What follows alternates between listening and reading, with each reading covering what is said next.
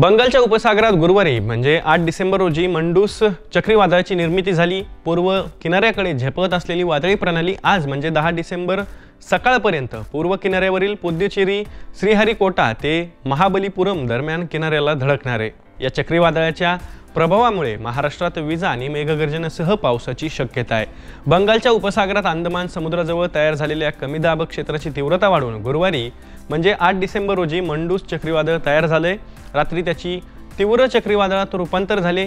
तर शुक्रवारी म्हणजे नऊ डिसेंबरच्या सकाळपासून चक्रीवादळाची तीव्रता कमी होऊ लागली आहे दुपारी ही प्रणाली कारकलाईपासून आग्नेयेकडे एकशे ऐंशी किलोमीटर तर चेन्नईपासून दोनशे साठ किलोमीटर आग्नेयेकडे होती. समुद्रात ताशी ऐंशी ते शंभर किलोमीटर वेगानं चक्राकार वारं वाहणाऱ्या वादळाचं केंद्र ताशी बारा किलोमीटर वेगानं वायव्य दिशेकडे सरकत होतं. मंडूस चक्रीवादळाच्या प्रभावामुळे तामिळनाडू आंध्र प्रदेशसह केरळ तामिळनाडू तेलंगणा ओडिशा श्रीलंकेत ढगांची दाटी झाली आहे या भागात वादळी वाऱ्यासह मुसळधार पाऊस पडतोय. महाराष्ट्रातही ढग जमा होत असून आजपासून पावसाची शक्यता आहे.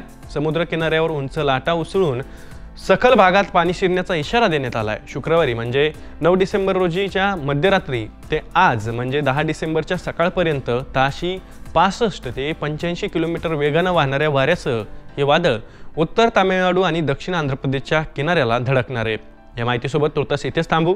ताज्या अपडेट्ससाठी ॲग्रोवनच्या यूट्यूब चॅनलला सबस्क्राईब आणि फेसबुक पेजला लाईक आणि फॉलो करायला विसरू नका.